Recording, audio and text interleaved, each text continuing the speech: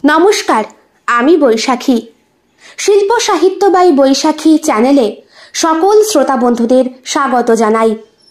আজ আপনাদের বলব, গল্প কাঁটার ফুলসজ্জায় গল্পটি পাঠে এবং লেখনীতে আমি বৈশাখী বিশ্বাস দেবনাথ। গল্পটি প্রথম থেকে শেষ পর্যন্ত শুনবেন, ভালো লাগলে অবশ্যই লাইক করবেন, কমেন্ট করবেন, শেয়ার করবেন এবং আপনাদের প্রিয় channel Shilpa Sahitya by Baishakhi subscribe করে, বেল বাটন প্রেস করে পাশে থাকতে একদম ভুলবেন না। বন্ধুরা, শিল্প সাহিত্য বাই বৈশাখী এখন চলে এসেছে ইউটিউব মিউজিক পডকাস্টে। ইচ্ছে করলেই আপনারা সেখান থেকেও গল্প শুনতে পারেন এবং আপনাদের ব্যক্তিগত মতামত আমার সঙ্গে শেয়ার করতে পারেন। বন্ধুরা, আপনারা আমাকে ফলো করতে পারেন ফেসবুক পেজে শিল্প সাহিত্য বাই বৈশাখীতে। যেভাবে আপনারা সাহায্য সহযোগিতার হাত বাড়িয়ে দিয়েছেন, ঠিক সেইভাবেই। আজ আপনাদের বলব প্রাপ্তমনস্কদের জন্য গল্প কাঁটার ফুল সজ্জায় গল্প পাঠ এবং গল্প লেখায় আমি বৈশাখী বিশ্বাস দেবনাথ। গল্পটি প্রাপ্তবয়স্ক এবং প্রাপ্তমনস্ক শ্রোতা বন্ধুদের জন্য। বন্ধুরা, যারা যারা আমাকে গল্পের প্লট পাঠাতে চান, তারা অবশ্যই আমাকে ইমেল করতে পারেন এবং গল্পটি আপনার নিজের ব্যক্তিগত হলে তবেই পাঠাবেন। নাম, ঠিকানা সহ। আমি পড়ে দেখব এবং আপনাদের পাঠানো তথ্য আমার ভালো লেগে থাকলে অবশ্যই সেটাকে গল্পের আকার দেবার চেষ্টা করব। শুরু হচ্ছে আজকের গল্প, কাঁটার ফুল সজ্জায় গল্প পাঠ এবং গল্প লেখায় আমি বৈশাখী বিশ্বাস দেবনাথ।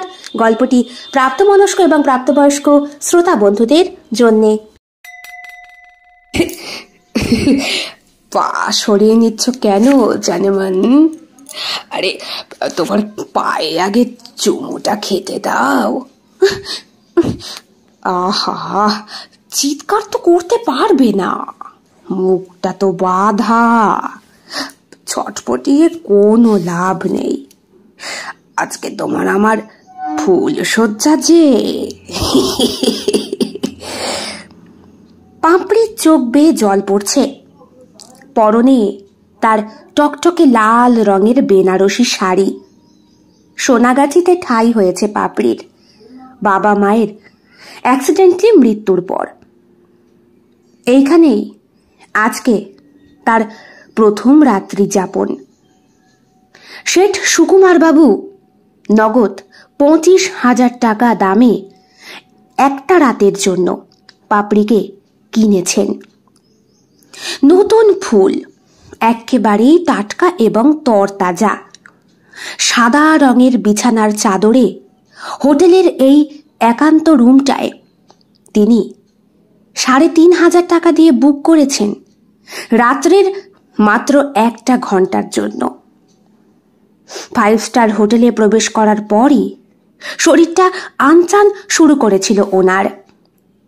খবর দেওয়া ছিল আগেই, মিতালি মেয়েটিকে সময়ের আগেই পৌঁছে দিয়ে গেছে। সেই থেকে মেয়েটা কান্নাকাটি শুরু করেছে। হোটেলের ম্যানেজার সুকুমার শেঠের হাতের মুঠোর বান্দা খরিদ্দার। সেই উপায়টা বদলে দিয়ে গেল। স্যার, আপনি না এই কাপড়টা দিয়ে মেয়েটির হাত বা মুখ ভালো করে বেঁধে দিন। অতিরিক্ত চিৎকার চেঁচামেচি হলে পুলিশ রেড হতে পারে। আমাদের এই হোটেলের একটা সুনাম আছে। তাছাড়া হোটেলের মালিক তো এখানে থাকেন না। বিষয়টা জানাজানি হয়ে গেলে স্যার, আমার চাকরি যাবে। বুঝতেই পারছেন, আমারও পরিবার আছে। আরে ছোকরা, তুমি চিন্তা কেন করছ? ঠিক আছে, হাত পা বেঁধেই না হয় সই। তবে পাখি তো আজকে আমি খাঁচায় বন্দি করবই। সেই থেকে পাপড়ি ঘরটার মধ্যে আটকা গায়ের গয়না একটা একটা করে রাগের চোটে ছুঁড়ে ফেলে দিয়েছে সে। শেঠ তখন বাথরুমে ছিল। দরজাটা খোলার অনেক চেষ্টা করেছে, পাপড়ি কিন্তু খুলতে পারেনি। লক করা। চাবি বোধহয় ওই শেঠ সঙ্গে করে নিয়ে গিয়েছে। বাথরুম থেকে বেরোতেই শেঠের কপালে একটা ফুলদানি ছুঁড়ে মেরেছিল পাপড়ি। কি ধনী দাঁতে দাঁত পিষে বলেছিলেন তিনি। তারপরই বিছানার পাশে রাখা ছোট্ট টেবিলটা থেকে ওই দড়িটাকে তুলে নিয়ে, তবে রে! মেয়েটিকে জোর জবরদস্তি মুখের ভেতরে রুমাল ঢুকিয়ে বেঁধে দেন এবং বেঁধে দেন হাত দুটো। বসিয়ে রেখেছেন ওকে জোর করে। টপ টপ করে চোখ থেকে জল পড়ছে ফর্সা রাঙা পাপড়ির। ঠোঁট দুটো বোধহয় ফুলে গিয়েছে এতক্ষণের শক্ত বাঁধনে। শেঠ এগিয়ে আসছে ওর দিকে। ওনার পরনে কেবলমাত্র একটা হাফ প্যান্ট। টেবিলে একটা ছোট্ট ফুলদানি রাখা। সেই ফুলদানিতে টাটকা, তরতাজা গোলাপ ফুল ফুটে রয়েছে। চকচকে লাল সেই একটা ফুল হাত থেকে ছিঁড়তে গিয়ে হাতের মধ্যে কাঁটা ফুটে গেল ওনার। সালি আজকের দিনটাই দেখি কাঁটা খাওয়ার। কাই কাই, কোঁচা আমিও দিতে জানি। বলে ফুলটা ছিঁড়ে পাপড়ির দিকে এগিয়ে আসছেন। পাপড়ি ঠিক ততটাই পা দুটোকে গুটিয়ে বিছানার একেবারে কোণে কোণ ঠাসা হয়ে বসে। সরে লাভ নেই। বলে এগিয়ে গেলেন তিনি। ওর পায়ের কাছে গোলাপের পাপড়িটা স্পর্শ করার সঙ্গে সঙ্গেই গোলাপের পাপড়িগুলো যেন মুশড়ে গেল।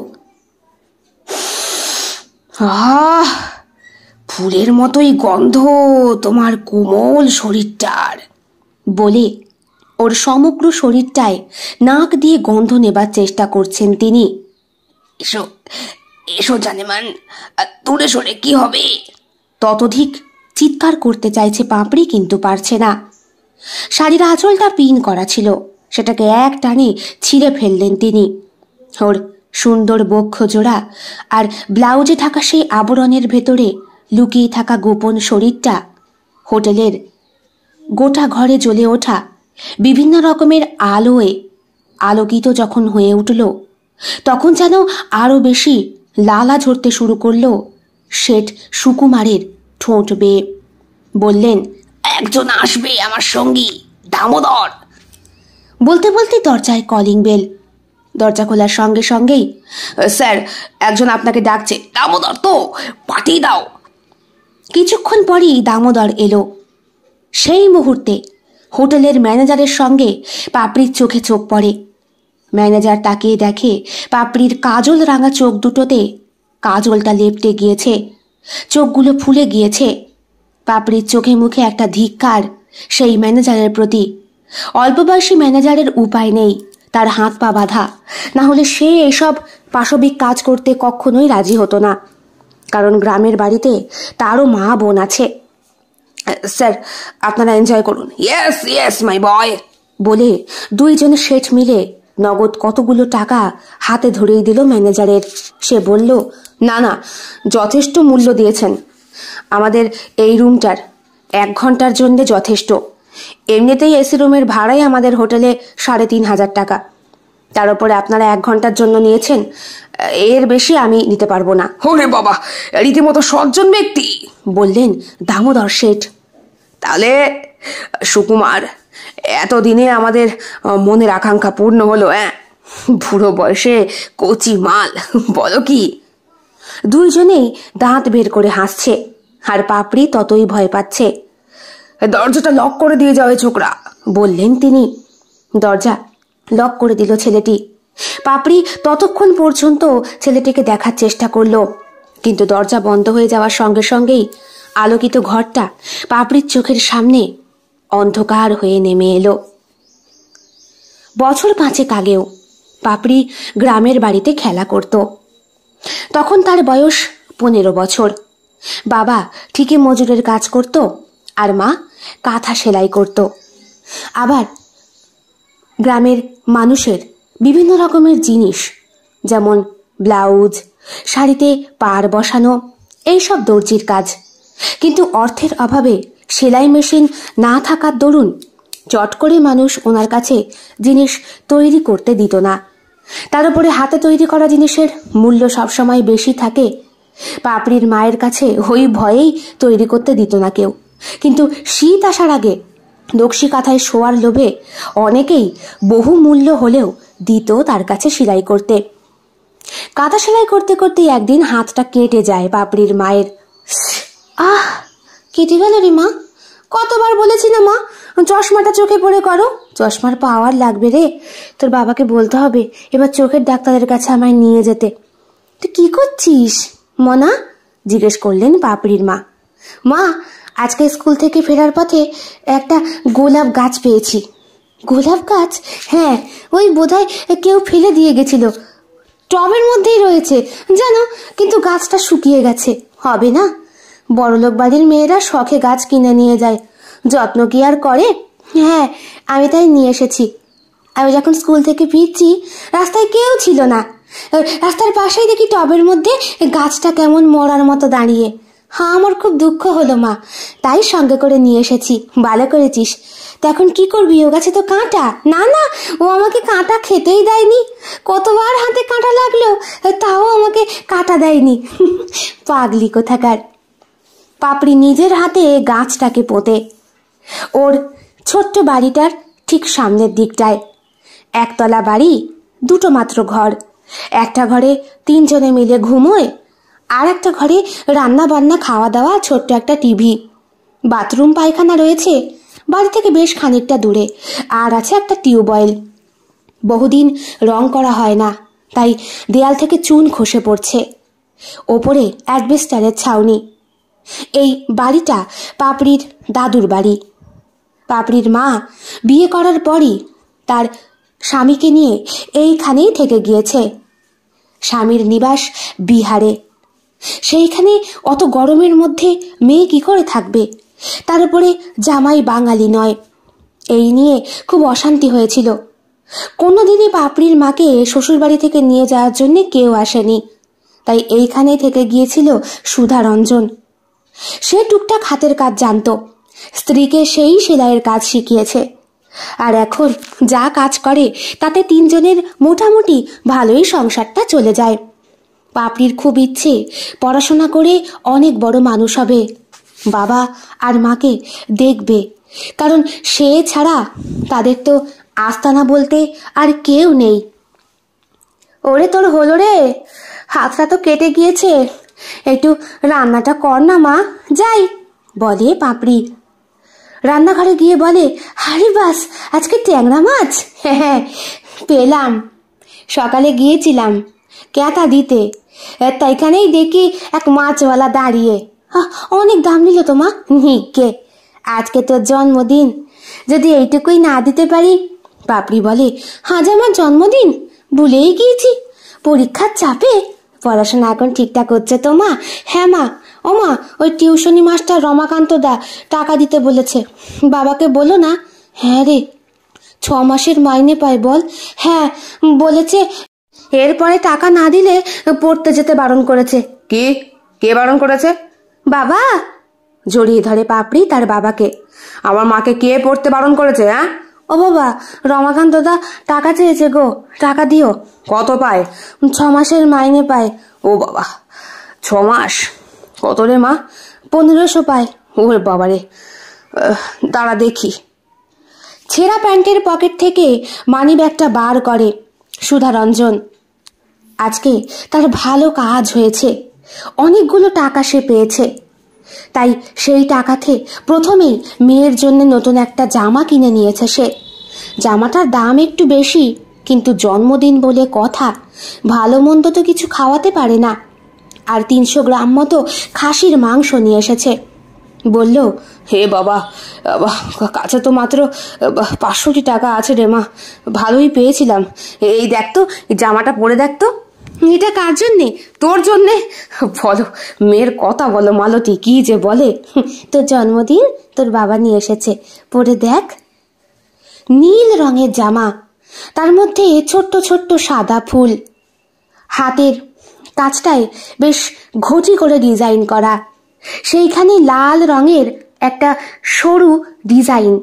মনে হয় এক্সট্রা কাপড় দিয়ে ডিজাইন করা হয়েছে ওখানে। বুকের মাঝখানটায় লাল ফিতের একটা বড় ফুল। জামাটা পরেই আয়নার সামনে নিজেকে দেখে পাপড়ি। আয়নাটা বহু পুরনো দিনের। উই পোকায় খেয়ে নিয়েছে বেশিরভাগ অংশটাই। কেবল কাঁচটাই পড়ে রয়েছে আর কাঁচের ওপরটায় ফ্যাকাশে রং। তবুও সেইখানেও পনেরো বছরের পাপড়ির রূপটা যেন ফুটিয়ে তুলতে পেরেছে সেই আয়নাটা। পাপড়ির ছোট্ট শরীরটা এখন বড় হয়েছে। জামাটাও গায়ে বেশ আঁটো সাঁটো। দেখে পাপড়ির মা বলল একটা ওর না জরাস মা। কেন? বাবা বললেন ফ্রকে কেউ আবার ওর না পড়ে নাকি? তুমিও মালতী মাথা গেছে। ওটো ওটো দেখি মাংস নিয়ে এসেছি রান্না করো। পাপড়িরই করতে হবে। কে কেন? হে আমার হাত ইস তুমি আজকেই হাতটা কাটলে। দেখি দেখি অনেকটাই কেটে গেছে। বড় সুই আহ, বদ্যির কাছে যাবে? মরণ এইটুকুর জন্য আবার কেউ বদ্যি দেখায় নাকি? রক্ত খেয়ে নিয়েছি, ঠিক হয়ে যাবে। এরপরে দুই বাপ বেটি মিলেই রান্না বান্না করে। একটু পায়েস রান্না করা হয়। দুইজনে মিলে বাপরিকে আশীর্বাদ করে, প্রচুর আশীর্বাদ। নিজেরা যা করতে পারেনি, সেইটাও পূরণ করার আশীর্বাদ। খেতে বসে হঠাৎ করে নজরে পড়ে কলের পাশেই ছোট্ট সেই গোলাপ গাছটার দিকে। বাবা বলে, আরে এ কথা থেকে আমদানি হলো। বাবা, আমি নিয়ে এসেছি। বাহ, ভালো করেছিস মা, খুব ভালো করেছিস। কিন্তু গাছটা বাঁচবে কি? খুব বাঁচবে? আমি ওর যত্ন নেব, জল দেব, সার দেব। তাহলে আজ থেকে তোর যেমন জন্মদিন, তেমন এই গাছেরও জন্মদিন হলো। কেমন? আমি বাবা ওর একটা নাম দেব? দে, ওর নাম গোলাপি। গোলাপ গাছের নাম গোলাপি? বলে হাসাহাসি করে দুইজন। পাপড়ি প্রত্যেক দিন স্কুল যাবার আগে গাছটাকে দেখে যেত। আর স্কুল থেকে ফিরে এসে গাছের সাথে কথা বলতো। পড়তে যাবার আগেও ঠিক তাই। গাছটাও যেন একটু একটু করে খুবই ভালোবেসে ফেলেছে পাপড়িকে। এরপরে গাছটি পাপড়ির সঙ্গেই লকলকিয়ে বড় হতে শুরু করে। দেখতে দেখতে মাধ্যমিকের গণ্ডি পার করে পাপড়ি উচ্চ মাধ্যমিক পরীক্ষা দেবে। গাছটি অদ্ভুতভাবে বেশ পাপড়ির মতোই উচ্চতা নিয়েছে। বারো মাস এই গাছে ফুল ফোটে। কলতলার যেইখানে গাছটাকে সে পুঁতেছিল এখন সেই গাছের শিকড় মাটির বিভিন্ন জায়গা দিয়ে ফুঁড়ে বেরিয়ে গোটা বাড়িটাকেই যেন নিজের আস্তানা বানিয়ে ফেলেছে। সম্পূর্ণ কলতলার চারধারটা গাছ ছড়িয়ে পড়েছে তার বাচ্চা কাচ্চাকে নিয়ে। আসল শিকড়টা খুঁজে পাওয়া দুষ্কর। বাবা প্রায় দিনই বলেন পাপড়িকে গোলাপ না বট রে এ দেখে রীতিমতো ঝুড়ি ফেলে ফেলে বড় হচ্ছে। বাবা ও কিন্তু আমার গোলাপি। ওই হলো। আরে তুই কি গাছ নিয়ে আসলি বলতো হ্যাঁ শেকড় ছড়িয়ে ছড়িয়ে মাত্র কয়েক বছরের মধ্যে গাছ তো একেবারে লাউ ডগার মতো বাড়ছে। মা বললেন আমাদের মেয়েটাকেও তো দেখো। এইবার পাত্র খোঁজো আর কদিন তুমি আর আমি। মুখের দিকে তাকিয়ে সুধারঞ্জন বললেন হ্যাঁ ভেবেছিলাম চাকরি বাকরি করাবো কিন্তু শরীরের যে অবস্থা আর কাজবাজের যে দিনকাল পড়েছে তাতে জমা পুঁজি যা আছে তা দিয়েই না হয়। কই গো? পাপড়ির মা? একজন মহিলা আসে। পাপড়ি বাবা মার কথা শুনছিল। এই মহিলাটি বাজারের ফুল বিক্রেতা। এসে বললেন কই? তোমার এই গোলাপ গাছে তো বারো মাস গোলাপ ফোটে। তা বলি আমি তো বাজারে ফুল বিক্রি করতে যাই। তা কটা দাও দেখি তুলে। বিক্রি করে যা পাবো দেবো কোন? তোমায় কিছু, আমায় কিছু? না না আমার আমার গাছে কেউ হাত দেবে না। বলে পাপড়ি। হো মা, মায়ের কথা দেখো। তা বলি, গোলাপ তো ফুটেই নষ্ট হয়ে যায়। তা নষ্ট হওয়ার আগে যদি দেবতার চরণে লাগে, এ তোর অসুবিধে কোথায় রে মা? ভেবে বলে পাপড়ি। বাবা, তোর যেটা ভালো মনে হয় কর। আমি তো আর খেতি বাড়ি করার জন্য বসে নেই। এই গাছ নিতান্তই তুই নিজের শখে লাগিয়েছিস। তোর যা ইচ্ছে তাই আমরা শুনব। গাছের দিকে তাকায় পাপড়ি। গাছটিও যেন বাতাসের দোলের সাথে ঘাড় নেড়ে সম্মতি জানায়। আর সেই বাতাসের দোলাতেই আরও কতগুলো গোলাপ মাটির মেঝেতে পড়ে। ফুলালি মাসি ফুলগুলোকে তুলে নিয়ে বলে, আহ, কি সুন্দর ঘেরান, তর তাজা। এ ফুল আমি এক একটা পঁচিশ টাকা করে বিক্রি করব। বলো বলো কি? বলে সুধারঞ্জন। হ্যাঁ ওই এখন ইংরেজির ফেব্রুয়ারি মাস চলছে না? Valentine's Day. বান্দারে যতই আমি কই, তত দামে এখন গোলাপ দেবে নে। আর যদি হয় এরম টাটকা, টকটকে লাল, যেন রক্ত দিয়া তৈরি, বললেন তিনি। পাপড়ির মুখে হাসি ফোটে। ফুলালি মাসি কথা রেখেছে। একটি হাজার টাকা তুলে দিয়েছে সুধারঞ্জনের হাতে। গাছের কাছে গিয়ে প্রণাম করে সুধারঞ্জন বলে খেয়ে জানে, মা লক্ষ্মী যে কোন রূপে বাড়িতে পা রাখে, এ বলা মুশকিল। তুই আরও বার, মা, তুই আরও বার। তোর বারন্ত যেন কোনো দিন না ফুরোয়। গাছটিও যেন মাথা নেড়ে সুধারঞ্জনের সঙ্গে সাই দেয়। আর ওর পায়ের কাছে ছোট্ট একটা ফুল এসে পড়ে। আহা, আবার আমায় নৈবিদ্যি দেওয়া কিসের? বলি, বেশি করে পুষ্প অর্জন কর। এতে তোকে যে পুঁতেছে হাতে ধরে, তার ভবিষ্যৎটাই উজ্জ্বল হবে। উচ্চ মাধ্যমিক পরীক্ষায় দুর্দান্ত রেজাল্ট করে পাপড়ি। ও হ্যাঁ রমাকান্ত। নিজে মাইনে না পাওয়ার দরুন পাপড়িকে তাড়িয়ে দেয়। পাপড়ি হা বিত্তেশ করে ঘুরছিল একটা ভালো মাস্টারের আশায়। তখনই গ্রামের পঞ্চায়েত প্রধানের ছেলে মধু ওকে পড়ানো শুরু করে। অনেক কম টাকা মাইনেতে। মধুর বয়স প্রায় বছর চল্লিশের কাছাকাছি। দুবার বিয়ে করেছে, কিন্তু বউগুলো টেকে না। অজানা অচেনা কারণে বউগুলো মারা যায়। কিন্তু গ্রামের মাস্টার হিসাবে মধুর টুকটাক নাম আছে। আর মধুর দেওয়া ওই নোটস পড়েই পাপড়ি বেশ ভালো মার্ক নিয়ে পাশ করে যায়। বাবা ভাবছি শহরের কলেজে এবার ভর্তি হই। গ্র্যাজুয়েশনটা কমপ্লিট করি? পড়বি কিন্তু খরচাপাতি ও খরচাপাতি নিয়ে কাকা তোমায় চিন্তা করতে হবে না। কে? আরে মধু যে। এতদিন ধরে সুধারঞ্জন জানতো মধু তাহারই বয়সী। কিন্তু হঠাৎ করে মধুর মুখে কাকা ধ্বনি শুনে সুধারঞ্জনের মনের ভেতরটা মোচড় দিয়ে ওঠে। অশনি সংকেত পায় সে। দাঁত বের করে দাঁড়িয়ে রয়েছে মধু।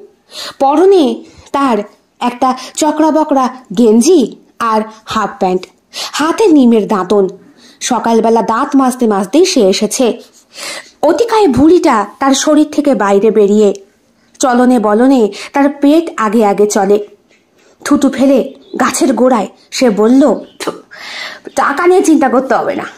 ও, আমি শহরে নিয়ে যাব, আমি পড়াবো। ও দাঁড়াও বলছি ওখানে আমার বাড়ি আছে। ওকে রেখে না হয়, না না না না, এ হয় না মধু। জোয়ান মেয়ে, ওকে দেখে ওর মাই বা নিশ্চিন্তে কি করে থাকে? তাছাড়া আমিও তো ওর বাপ। ওকে কাদায় ফেলে দিয়ে তো আর আমরা বাঁচতে পারব না। এ তুমি কি বললে, কাকা? কাদায় কোথায় ফেলছো? আমি নিজের হেফাজতে ওকে নিয়ে যাব। কিরে, যাবি না? মেয়ের দিকে তাকায় সুধা। হে কি, পাপড়ির চোখ মুখের ভোল দেখি বদলে গিয়েছে? না, এ লক্ষণ তো ভালো নয়। এ আগেই পুরো ব্যাপারটায় যদি বাঁধ না দেওয়া যায় তাহলে বিপদ হতে বেশি দিন বাকি নেই। সেই দিন কোনো রকমে মধুকে কাটিয়ে দেয় সুধা। বলে, সে আমি খবর দেবো খন আপাতত মেয়ে পাশ দিয়েছে এখন কদিন একটু ঘুরে ফিরে বেড়াক। তারপর না হয়, না না না না, কাকা, যত দেরি হবে, তত বেশি ওর সাবজেক্ট চুজ করতে অসুবিধা হবে। তা আমি বলি, ও আগে থেকেই, সে না হয় আমরাই বিচার করব? বলেছিলেন মালতী দেবী। মানে পাপড়ির মা, আমাদের তো মেয়ে, দায়িত্ব আমাদের। পড়াতেও হবে তো আমাদের। দেখো বাবা, আর্থিক দিকটাও তো দেখতে হবে। কলেজে পড়া মানেই অনেকগুলো টাকার ধাক্কা। কলেজে ভর্তির সময় তো ফিস ফিস নাকি সব দিতে হয়। ও, সব নিয়ে কাকে মতো তুমি চিন্তা করো না, আমি তো আছি। মধুকে বিদায় করতে অনেকটা কষ্ট হয়েছিল। ওই দিন রাত্রেবেলা পাপড়ি খেয়ে দিয়ে ঘুমিয়ে পড়েছে। বিছানা বলতে ওই একটি। সুধারঞ্জন আর মালতী মেয়েকে বড় করতে গিয়ে নিজেদের যৌবনটাকে বহুলাংশে স্যাক্রিফাইস করেছে। শোনো, মালতী মেয়ের লক্ষণ আমার ঠিক ভালো লাগছে না। কেন বলো তো? হুম মধুর সাথে বোধহয় কোনো ঘনিষ্ঠ সম্পর্ক হয়েছে নালে অত কম টাকায় মেয়েকে পড়ায় আর মেয়েও একদিনও না পড়তে গিয়ে থাকতে পারে না। বিষয়টায় আমার কেমন যেন ভয় লাগছে। মনের ভেতরটা কু ডাকছে। বুঝলে মালতী? তোমার সবেতেই কু ডাকে। মেয়ে ওরকম মোটেই না। আর আমাকে সব বলে। যদি কাউকে ভালো লেগেও থাকে, কাউকে ভালো লাগা বিষয়টা আলাদা মালতী। এ মধু, দুটো বউ যার এমনি মরেছে, আমারই বয়সী। বুঝতে পারছ হ্যাঁ? বাপের বয়সী ছেলের সঙ্গে নিজের কচি মেয়েটাকে বিয়ে দেবো হ্যাঁ? সেই দিন, সারা রাত মেয়ের চিন্তায় ঘুম হয় না। অন্যদিকে পাপড়িও আধো ঘুম আধো জাগরণে ঘাপটি মেরে বাবা মায়ের সব কটা কথাই সে শোনে। পরের দিন খুব সকাল সকাল ওঠে পাপড়ি। গাছের সামনে দাঁড়িয়ে বলে, গোলাপি, তোর সঙ্গে বোধহয় আর দেখা হবে না। গোলাপি ঘাড় নেড়ে প্রশ্ন করে, কেন? তুই আবার কেন জানতে চাইছিস?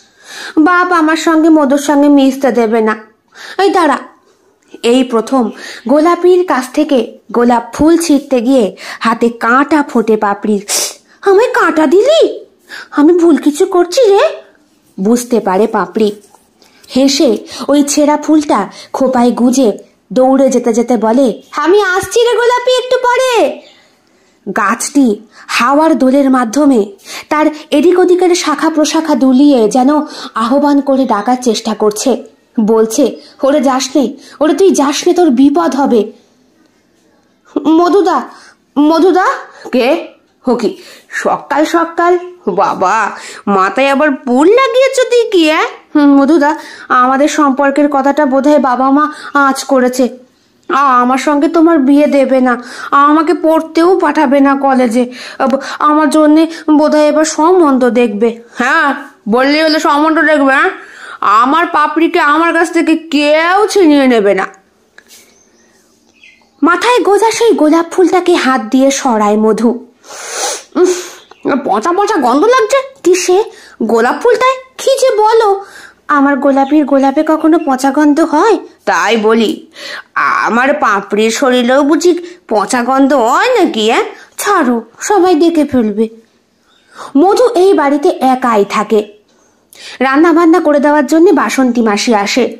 উনি রান্না ঘরেই ছিলেন। লক্ষ্য করেনি পাপড়ি। এই মুহূর্তে বাসন্তী মাসি দেখতে পেল মধু নিজের ঘরে নিয়ে গিয়ে দরজাটা বন্ধ করে দিল। বাসন্তী মাসির বুকের ভেতরটা কেঁপে ওঠে।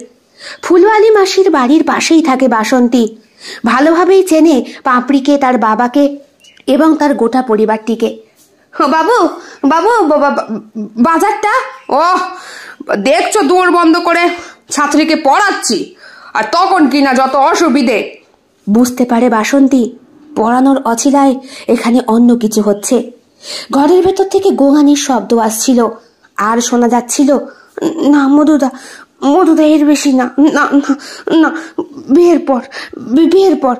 ঠিক তখনই বাসন্তী গিয়ে দরজায় টোকা মারে। মধু বাধ্য হয় দরজা খুলতে। কি?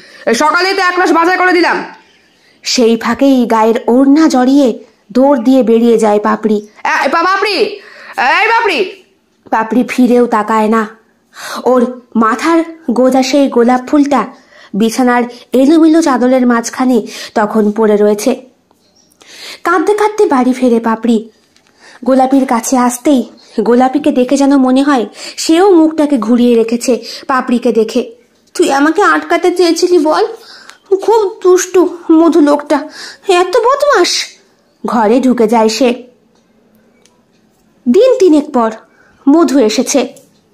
পাপড়ি মায়ের সাথে হাতাহাতি কাজ করছিল। এই তিন দিন সে মধুর বাড়ির চৌহদ্দি মারায়নি। পড়তেও যায়নি।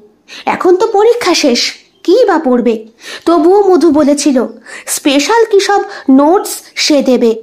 আর সেই স্পেশাল নোটসটা কেবলমাত্র দেবে পাপড়িকে। তাই একা পড়তে যেতে। কিন্তু সেই দিন দরজা বন্ধ করে পাপড়ির বুকের ওপরে যেইভাবে মধু হাত রেখেছিল, যেইভাবে তার জামার পেছনের হুক খোলার চেষ্টা করছিল, তাতে ফ্রক পরা পাপড়ি নিজেকে বিধ্বস্ত বোধ করেছিল। ভাগ্যিস, বেরোনোর আগে মায়ের কথা মতো বুকের ওপরে একটা ওড়না দিয়ে গিয়েছিল। সেই ওড়নাটাই রাস্তা দিয়ে ফেরার সময় সারা শরীরে ঢেকে নেয়, কারণ তার জামার পেছনের হুকটা তখন ছেঁড়া। পিঠের ফর্সা অংশটার মধ্যে মধুর নখের আঁচড়ের দাগটা দগদগে ঘায়ের মতো স্পষ্ট। ও দিদে দিদি। একে বাবু আপনি?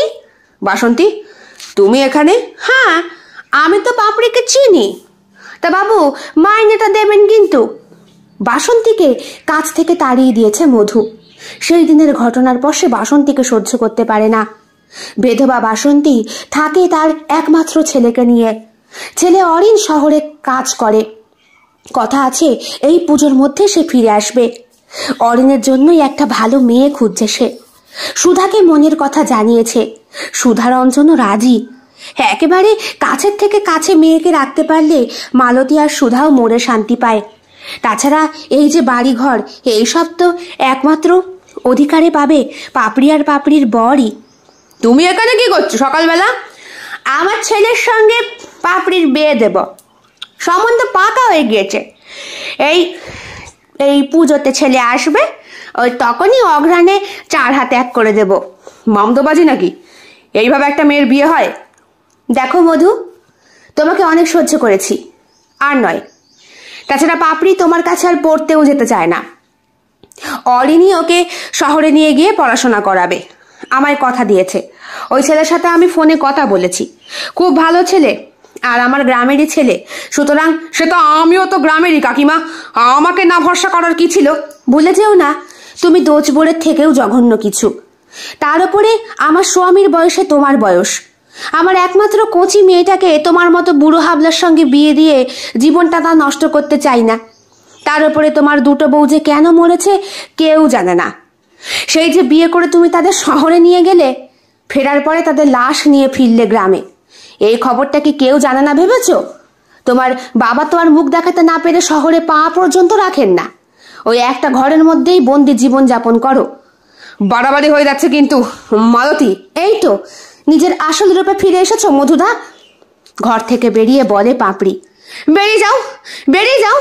হ্যাঁ সেই দিন আমার গোলাপির গোড়ায় তুমি পানের পিক ফেলেছিলে। হ্যাঁ নিমের দাঁতন মেজে সেই ফেলেছ।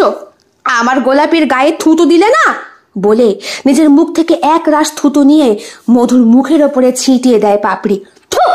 নোংরা লোক! মাস্টারের নামে কলঙ্ক! ঠিক আছে, এর এর এর শোধ আমি তুলবো, বলে মধু। যা যা, করে নে, যা খুশি। এ, শোন, এ বুড়ো আগে আমার মাইনে দিস, বলে বাসন্তী। রাগে কটকট করতে করতে মধু সেইখান থেকে চলে যায়। কয়েক মাস পরই পুজো। অরিন ফেরে গ্রামে। সামনাসামনি পাপড়িকে দেখে এক চান্সেই অরিনের পছন্দ হয়ে যায়। এবং সেই বছরই অগ্রহায়ণে ধুমধাম করে বিয়ে হয়ে যায় পাপড়ির আর অরিনের। সুধারঞ্জন শান্তি পেয়েছে। দুইজনে মিলে ঠিক করেছে, এই শহর ছেড়ে চলে যাবে। চলে যাবে এমন কোনো জায়গায় যেখানে শান্তি আছে শান্তিরপুর মেয়ে এখন জামাইকে নিয়ে ভালো থাকুক, সেইটাই তো। অরিন কিন্তু তার কথা রেখেছে। স্ত্রীকে বিয়ে করে সে পড়াশোনা করাচ্ছে। গ্র্যাজুয়েশন কমপ্লিট করে ফেলেছে পাপড়ি। অরিন বলেছে শোনো তোমার যতদূর ইচ্ছে পড়াশোনা করো। লেখাপড়া করা সত্যি খুব ভালো কাজ। তাছাড়া আমারই তো গর্ব আমার বউ কতটা শিক্ষিত। আমি তোমার সঙ্গে শহরে গিয়ে থাকব। না না এখনই নয় তুমি এখন অনেক ছোট। আচ্ছা তোমার আমার সম্পর্কটা আর পাঁচটা স্বামী স্ত্রীর মতো কেন না? কেন না? কারণ তুমি এখন অনেকটা বাচ্চা। নাকি তোমার মধ্যে অন্য কেউ আছে?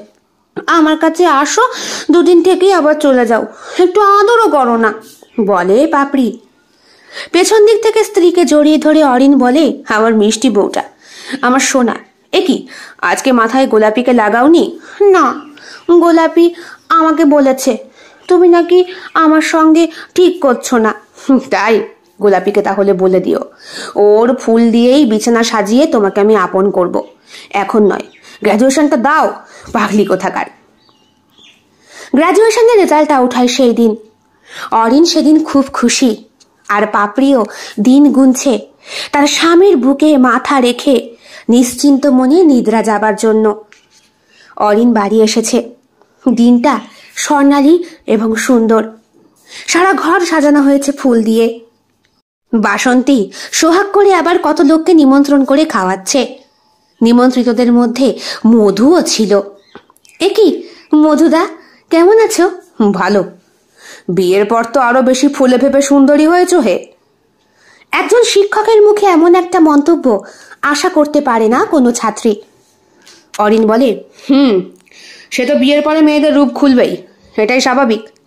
খেতে এসেছ, নিমন্ত্রণ খেয়ে চলে যাও। একটা বাক্সের মধ্যে উপহার দেয়, মধু। বলে, খুব সাবধানে ঘরে নিয়ে গিয়ে একা খুলবে। এটা তোমার আমার ঘনিষ্ঠ মুহূর্তের কতগুলো ছবি আছে, কথাটা বলে অরিনের সামনে। কোনো বাইরের ব্যক্তি স্ত্রীর সম্পর্কে এমন মন্তব্য করলে স্বামীর মাথাটা নষ্ট হয়ে যাওয়াটা খুবই স্বাভাবিক একটা ব্যাপার। কিন্তু মাথা ঠান্ডা রেখে অরিন বলে হ্যাঁ হ্যাঁ ও আপনাদের ঘনিষ্ঠ মুহূর্ত একাই ও দেখবে, আমি দেখব না। তাছাড়া আপনার সঙ্গে ওর কাটানো সেই ছাত্রী আর মাস্টারের মুহূর্তগুলো ওইসব আমি দেখেই বা কি করব? বউ আমার আর আমারই। আমি তো জানি আমি কতটা খাঁটি পেয়েছি। বলে পিছন দিক থেকে জড়িয়ে ধরে অরিন তার স্ত্রীকে। গর্বে বুকটা ফুলে ওঠে পাপড়ির। আর তার সঙ্গে সঙ্গে গোলাপিও যেন মাথা নেড়ে অসংখ্য ফুলকে নিচে ফেলে। মুখে অন্ন তুলতে পারে না মধু। দাঁত কটমট করে ঘর থেকে বেরিয়ে যায়। ওই দিন রাত্রিবেলা বারান্দায় দাঁড়িয়ে অপেক্ষা করছে পাপড়ি। অরিনকে বন্ধুরা ডেকে নিয়ে গিয়েছে। বারবার বলে দিয়েছে, মদ খাবে না কিন্তু। আরে দূর পাগলি, বন্ধুদের ইচ্ছেও তো রাখতে হয়। কত বছর পরে এলাম, তুমিও সব চিন্তা করো না। সুধারঞ্জন আর বাসন্তী। এসেছিল, আবার চলে গিয়েছে। তারা এই গ্রামের বাড়ি ছেড়ে শান্তিপুরে গিয়ে এখন থাকে।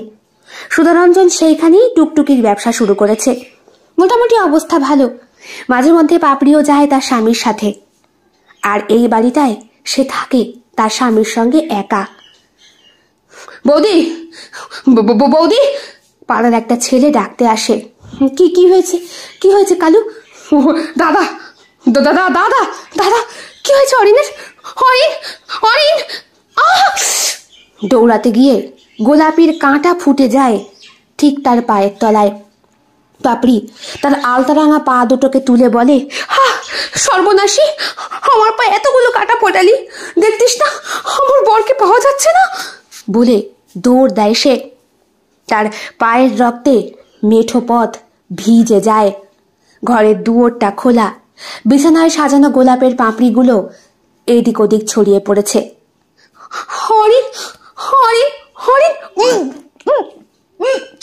পাপড়ি আর কথা বলতে পারে না। পেছন দিক থেকে শক্ত করে মুখের মধ্যে কে যেন একটা কিছু চাপা দিয়েছে। খানিকক্ষণ এদিক ওদিক ছটফট করে পাপড়ি অজ্ঞান হয়ে যায়। তারপর যখন জ্ঞান ফেরে, তখন সে নিজেকে আবিষ্কার করে সোনাগাছিতে। মালতী মাসির ঘরে। ও মাসি, মেয়ের জ্ঞান এসেছে। অ মালতী মাসি। মালতী নামটা শুনে বুকের ভেতরটা আবার খোঁচা দিয়ে ওঠে। মালতী তো ওর মায়ের নাম। তাহলে কি মা এসেছে? মা মা এ মাগি, কে তোর মা? বললেন তিনি। হ্যাঁ একই নামের দুটো মানুষ, দুটো নারী, দুই মেরুর। আমার আমার মা, মায়ের কাছে যাব? বলে পাপড়ি মায়ের কাছে যাবে মানে? শোন এক বাবু পঁচিশ হাজার টাকা দিয়েছে, এক রাতের দাম। বুঝলি? তিন দিন পর তৈরি হয়ে নিবি। পরনে তো বেনারসি আছেই। একে একে, একজন একজন করে। প্রথমে দামোদর, তারপর সুকুমার।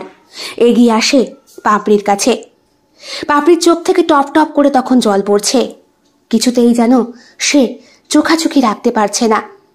ছোটবেলার স্মৃতি বড়বেলার মধুর মুহূর্তগুলো এখন ওকে খোঁচা দিয়ে যাচ্ছে। বিছানার ওপরে উঠে বসেছে দুটো সন্ডা মার্কা পুরুষ। একই সঙ্গে ভোগ করতে চায় পাপড়ির কোমল শরীরটাকে। পাপড়ির বুকের ব্লাউজের হুকগুলোকে টান দিয়ে খুলে ফেলে ওদের নগ্ন হাত দুটো। আর ঠিক ঠিক তখনই বলে ওঠে সুকুমার, দাঁড়াও, আরে গোলাপ রয়েছে, ছড়িয়ে দি টেবিলের পাশে ছোট্ট টবে গোলাপ গাছ। গাছটা যেন মুষড়ে পড়ে। তাতে ফুটে রয়েছে কয়েকটা গোলাপ ফুল। মাটিতে পোড়তা আছে ঠিকই, গাছের ডালটা, কিন্তু গাছটা প্রায় মৃত। এ পাপড়ির মধ্যে কখনো আমার পচা গন্ধ হয় নাকি? গোলাপের পাপড়িগুলো ছড়িয়ে দিলেন বিছানায়। এসো এসো সোনা, আমরা এখন তোমার ভ্রমর। তা এক ফুলে তো একটা ভ্রমর মধু কায় না, অনেক ভ্রমর মধু কায় এসো আজ তোমাকে তোমার মধু খেয়ে আমরা আমরা আমরা আনন্দ করব হ্যাঁ! কি হলো? আর সুকুমার? ও কি? ও কি? কাঁটা ফুটলো থেকে কি কি জানি। হে কি? হা আমরা যে বিছানায় পাপড়ি ছড়ালাম লাল গোলাপের কাঁটা কাঁটা হলো কি করে? পাপড়ি বসে রয়েছে ঠাই বিছানায় কোন ঠাসা হয়ে। তার পায়ের তলা থেকে রক্ত বেরিয়ে পড়েছে। বিছানাটায় পাপড়িগুলো যেন কাঁটার রূপ ধারণ করেছে। কিন্তু পাপড়ি তাকিয়ে তাকিয়ে দেখছে, সেখানে গোলাপ ফুলের পাপড়ি। অথচ এই লোক দুটো ওনাদের নগ্ন শরীরটা নিয়ে চাদরের ওপরে ছটফট করছে। কত রকম ভাবে ওরা যে গোলাপ ফুলের পাপড়ির ওপরে নিজেদের শরীরটাকে দোলাচ্ছে, আর ঠিক ততবারই চিৎকার করছে, আক আক করে। যেন কে খোঁচা দিয়ে যাচ্ছে ওদের সমগ্র শরীরটা। ইস, নেমে পড়ে ওরা। মার্বেলের মেঝেতে পা রাখার সঙ্গে সঙ্গে শুরু হয় আরও চিৎকার। আরে এত কাটা এলো থেকে গোটা ঘরে কাটা। পড়ে যায় দুইজনে একে অপরের ঘাড়ের ওপরে। আর তারপর ওই কাঁটার মধ্যেই গড়াগড়ি খায়। দুটো মানুষের চিৎকারে হোটেলের অন্যান্য বাসিন্দাদের ঘুম যেন উড়ে গিয়েছে। যতই সাউন্ড প্রুফ থাকুক না কেন। ম্যানেজার আসতে বাধ্য হয়। দরজা খুলে তিনি বলেন, এ কি? স্যার আপনারা এগুলো কি করছেন? দেখতে পায় ম্যানেজার ওরা গড়াগড়ি খাচ্ছে সেই মার্বেলের মেঝের ওপরে। পাপড়ি তাকিয়ে রয়েছে ম্যানেজারের দিকে। ছুটে আসে ম্যানেজার পাপড়ির মুখের বাঁধনটা সরিয়ে দিতেই ডুকরে কেঁদে ওঠে। হরিণ হরিণ আমাকে ছেড়ে কোথায় গিয়েছিলে? বলো। ম্যানেজার বলে তোমাকে তোমাকে পাবার জন্যই তো। সেই দিন তুমি দৌড়চ্ছিলে আমি তোমার পেছন পেছনে ছিলাম। আমি আমি গিয়েছিলাম বেলি ফুলের মালা আনতে তোমার জন্য। আমি বুঝতে পারিনি মধুর যে এত বড় একটা চক্রান্ত হবে। তোমাকে ঘক্ষান করে গাড়িতে তুলে নিল, আমি দেখতে পেলাম কিন্তু কিচ্ছু করতে পারলাম না। তারপরে কত কষ্টে তোমার এই রক্তরাঙা পায়ের খোঁজ করতে করতে আর আর আর আর কি? আর আর তোমার গোলাপি, তোমার গোলাপির ফুল বিক্রি করতো না ফুলালি মাসি? ওই মাসি আমায় খবর দিল, আজকে নাকি এক দল বড় লোকের ছেলে এই এই গ্রামের পাশের শহরটাতে এসেছে। সোনাগাছি থেকে কোন এক নতুন মেয়ে নাকি আজকে আসবে। তার তার জন্যে ফুলের শয্যা। গোলাপির ফুল তো, ওরা তো গোলাপির সন্তান।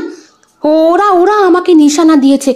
বিশ্বাস করো কেউ কেউ বিশ্বাস করবে না, আমিও আমিও প্রথমে বিশ্বাস করতে যাইনি, কিন্তু কিন্তু নিজে নিজে নিজের চোখে দেখে, আমি আমি হতভম্ব হয়ে গিয়েছি।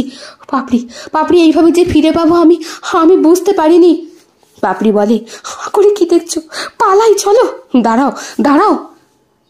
মাটির টবের মধ্যে গোজা, গোলাপির ছোট্ট ডালটাকে হাত দিয়ে তুলে নেয় অরিন। বলে, একে তো নিয়ে যেতে হবে।